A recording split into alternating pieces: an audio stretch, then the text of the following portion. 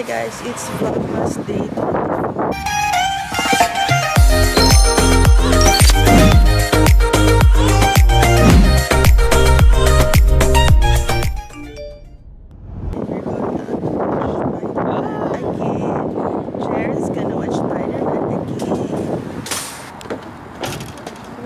We're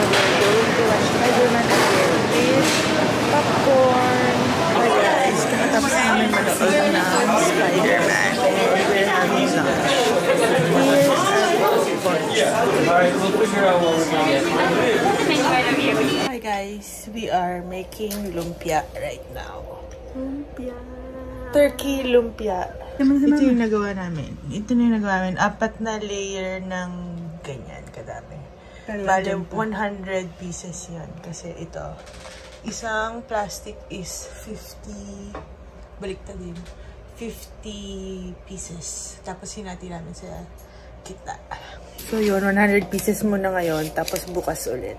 Kasi ito yung dadali namin sa Christmas Family dinner. family dinner bukas. Hi guys, so it's time to bed.